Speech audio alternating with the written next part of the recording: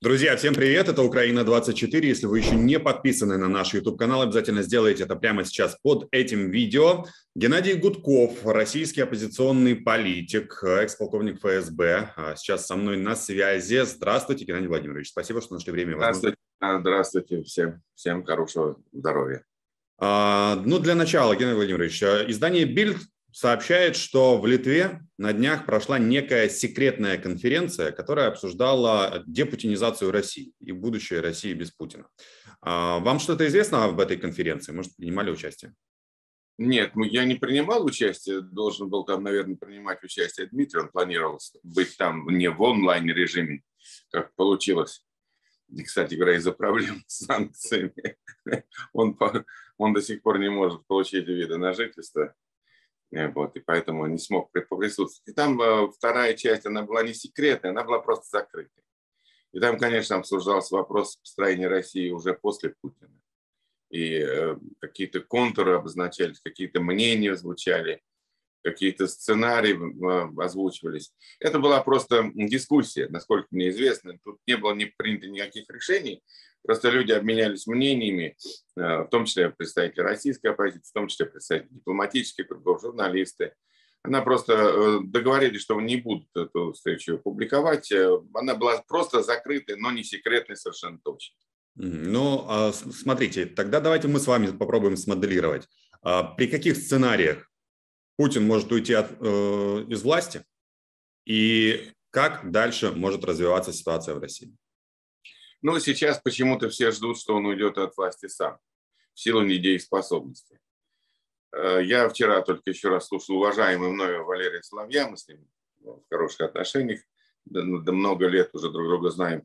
Ну вот он утверждает, что состояние здоровья его уже после всех, э, еще не было якобы операции, она только впереди, была какая-то там оздоровительная восстановительная процедура. Но он считает, что он считает, подчеркиваю, ссылаясь на слова Валерия Славья, что э, как бы жизненный горизонт Путина обозначен. Понятно, что врачи никогда не могут сказать, сколько человеку там ну, можно э, быть живым, здоровым и так далее, но тем не менее якобы Путин об этом знает.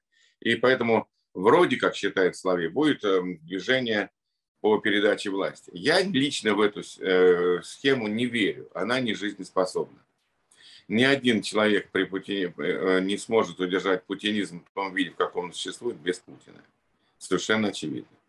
Потому что грызня кланов, она и нарастает, она будет нарастать. И уж когда все почувствуют, что Путин действительно уходит, там будет такая жуткая грызня кланов. Власть никто не удержит.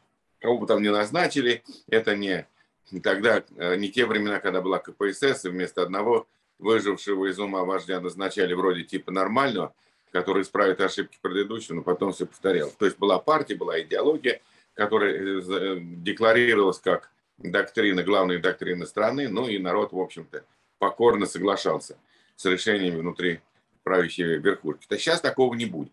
Никакой нет ни идеологии, ничего нет. Есть э, группа кланов, которые дербанят Россию. Они между собой жутко противоречат, готовы друг друга убивать, цепляться в глотку, сажать и так далее. Поэтому этот сценарий я не верю. Хотя его сейчас очень активно отрабатывают и вроде бы как даже готовится.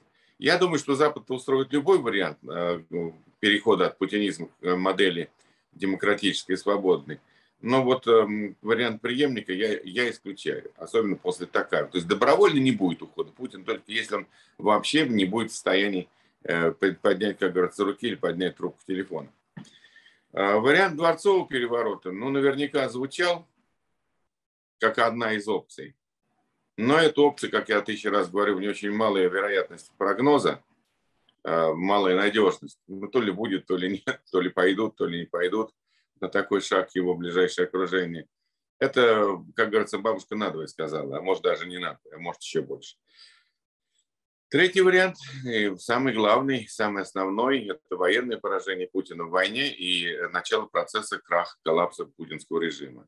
Вот это реальный вариант но он требует консолидации Запада, он требует, безусловно, а, еще более серьезных усилий, он требует какого-то времени. А, это реалистичный вариант, и по нему, по идее, мир должен двигаться, поскольку путинизм представляет из себя смертельную угрозу для всей цивилизации. Я это без всяких кавычек говорю. И если Путин сегодня раненый, но недобитый, э, будет чувствовать себя в какой-то степени, хотя бы в какой-то малейшей степени победителем, следующая война неизбежна. Она просто становится ну, автоматической. Только вопрос в сроке. Когда она начнется, причем это будет война уже точно с готовностью применять ядерное оружие по всем площадям. Понимают ли это элиты на Западе? Я надеюсь, что понимают. И я вижу по усилиям, которые сейчас предполагается э, осуществить в самое ближайшее время. И вот я только что сегодня прочитал новости о готовности поставить систему залпового огня большой дальности американцев и другие страны определяется. И я так полагаю, что там вопрос ПВО СПРО решается. Я полагаю, что они это понимают. А тут э, еще на днях Руслан Ливиев, э, основатель Conflict Intelligence Team, сообщил о том, что российский генштаб разослал военным округам приказ о формировании резервных батальонов из числа офицеров, контрактников и резервистов. И Руслан Ливиев называет это последним шагом перед всеобщей мобилизацией. А, видите ли вы, я, что, очень что, что ситуация в России двигается в сторону всеобщей мобилизации? Я не очень в нее верю, и не потому, что Путин на это не пойдет, а потому что контингент, который будет мобилизован, он э, готов скорее сдаться или воевать даже против Путина, нежели воевать за Путина. Вот мы с вами знаем, что сейчас правозащитники во весь голос трубят о том, что в Дагестане, в Чечне проводится, по сути дела, принудительная мобилизация на дорогах. То есть на дорогах стоят посты ГАИ, останавливают машины, и если там есть молодые люди призывного возраста, их тащат в военкомат – и отправляет в армию. Такая мобилизация ничего хорошего не даст. А, за деньги, да, за деньги нанимает, за деньги формирует. В общем, я думаю, что вот эта вот э, акция в Дагестане, в Чечне, как утверждает правозащитник, когда там сплошным образом таким варварским идет призыв в армию, наверное, это дебилообразное выполнение э, этого возможного распоряжения Генерального штаба. Вот. Но я думаю, что э, когда Путин решится на всеобщую мобилизацию, проблема с молодежью, которая воюет, реально воюет, она будет огромной, потому что я вчера почитал, там одна, ну просто одна обычная девушка рассказала о своем конфликте с родителем, с мамой. Мама ватница, у мамы стекленеет глаза, когда она слышит про войну. Все, она рассуждает более-менее здраво, а тут у нее как клинит мозги. Ну, в общем, они там разругались, разошлись. Семейные э, э семьи в России сейчас трещат по всем швам, друзья, дружеские компании трещат по всем швам и так далее. То есть это, вот конфликт семей, он очевиден, и это причина война, которую ведет Путин против Украины. И вот этот конфликт в основном идет э, по поколению. В основном. То есть поколенческий конфликт. А вот эта вся, э, извиняюсь за выражение, пожилая масса старых пердунов, которые с дивана там призывают к войне и считает ее священной, эта масса способна, как говорил э, Фазиль Искандер, только породить э, коллективную вонь, которая принимается иногда за единство духа. Вот эта коллективная вонь с диванов, патриотическая, она может быть, но она никакого практического применения в войне найти не может. А вот те молодые ребята, которые, да, конечно, часть из них тоже подвержены, тоже со склеенными мозгами, но все-таки большая часть молодежи против войны. И если ее сейчас призвать в армию, бы оно, как говорится, не привело к формированию добровольческих российских батальонов, э, вооруженных на территории уже Украины, если они будут туда отправлены, да, с, с готовностью воевать против Путина. Вот это может к этому привести, и я думаю, что этот режим путинский тоже понимает. Поэтому они так осторожны с всеобщей мобилизацией. На этой неделе опять заговорили о возможной угрозе со стороны Беларуси, о концентрации там войск, о проведении Беларусью неких учений возле украинской границы.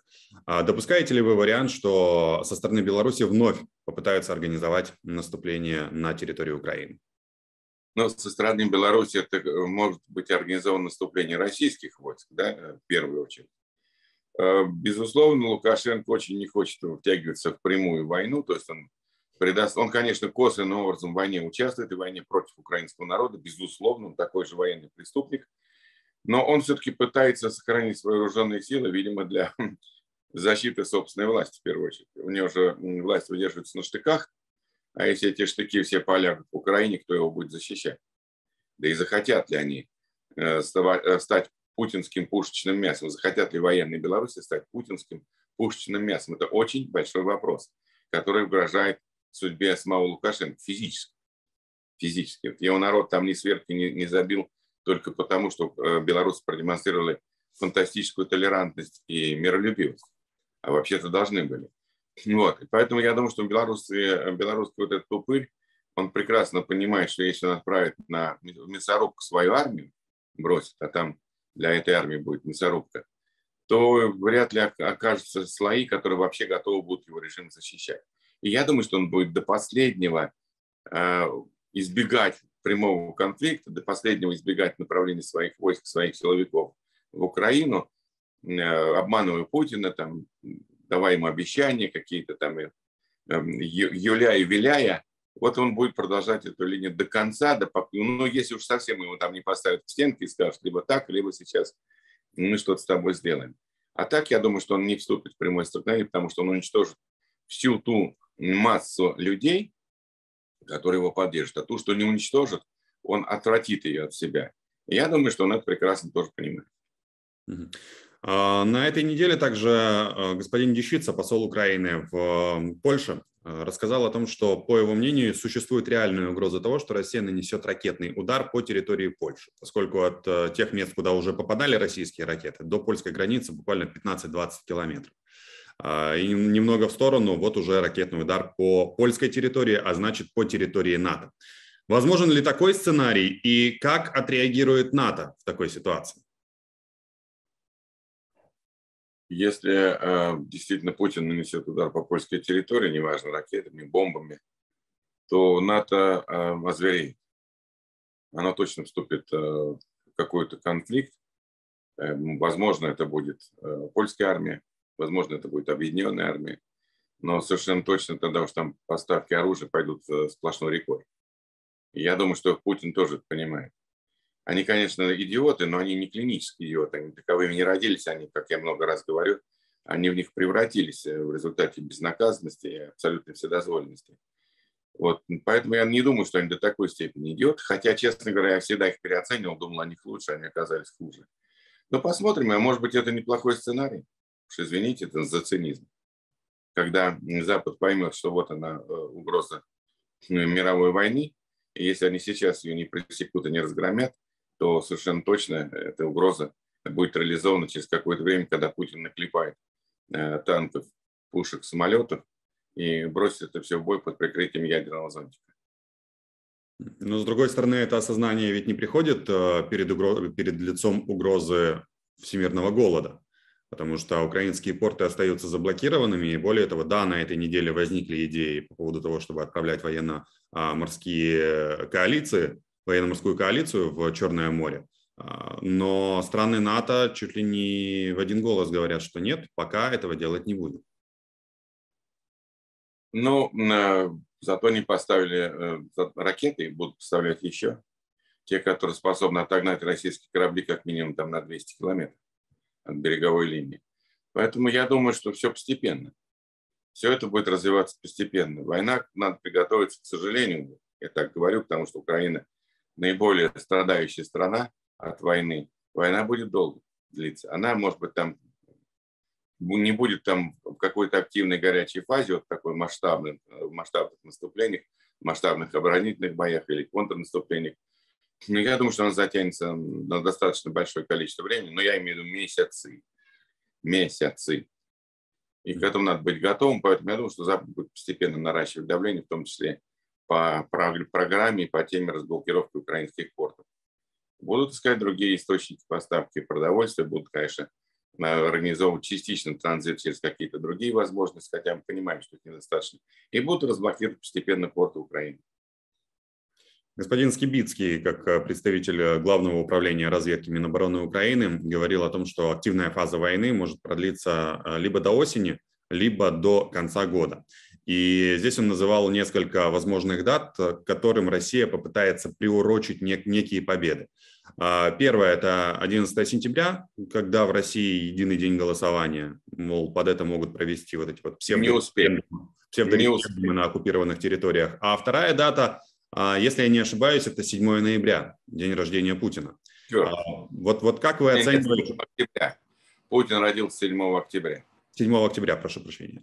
А, вот как вы оцениваете такие, такие сценарии подгонять все под даты. Ну, мы понимаем, что в Кремле любят такой символизм. Да, в Кремле это любят, но у них не хватит сил.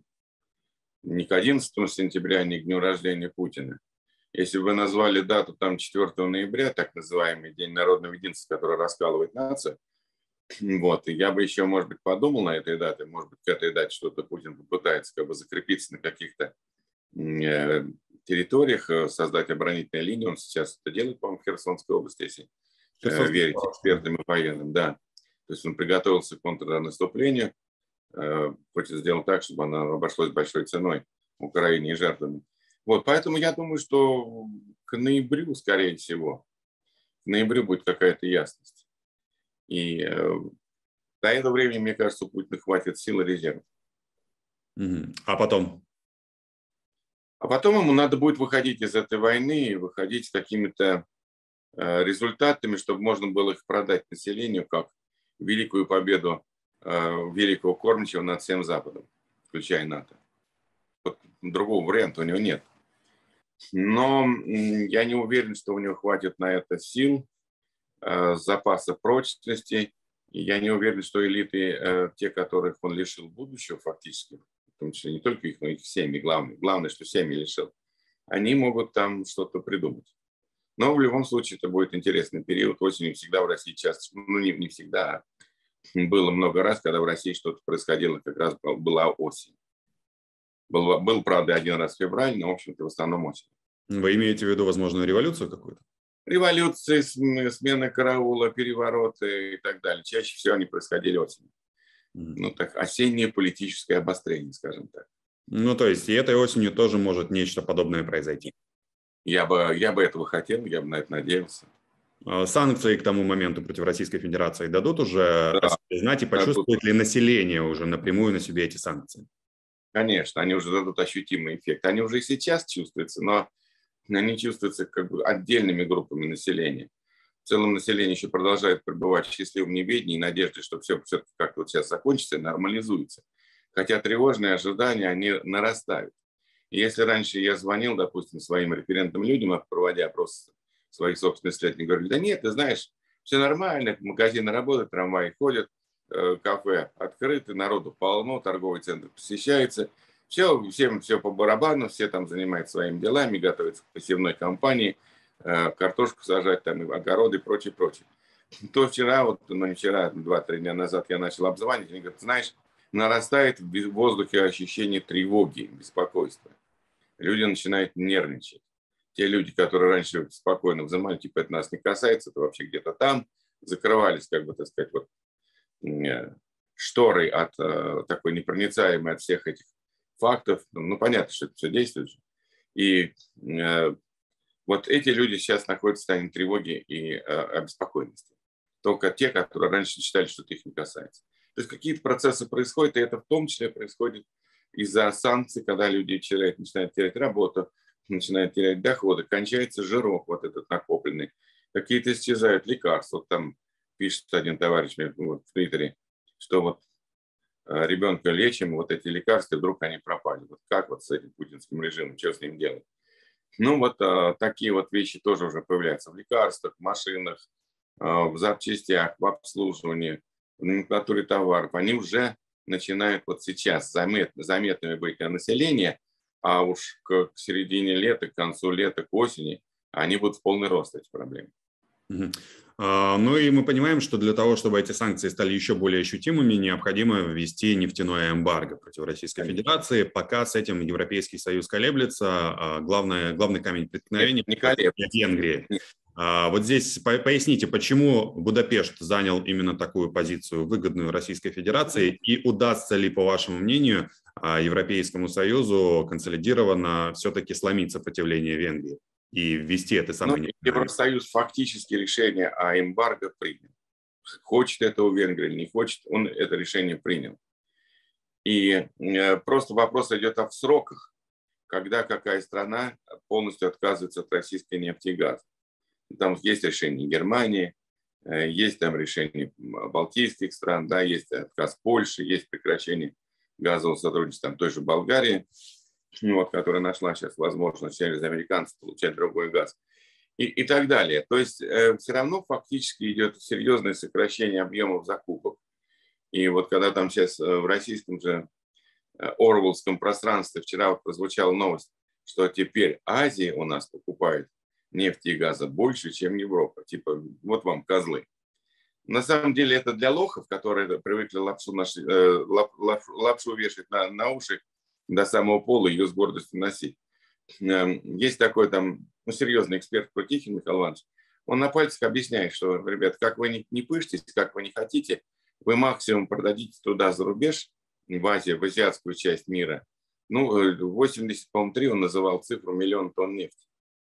Даже если вы ведрами начнете ее носить, это не сильно увеличит э, объем продаваемой нефти. А в общем э, продавалось 400 миллионов тонн.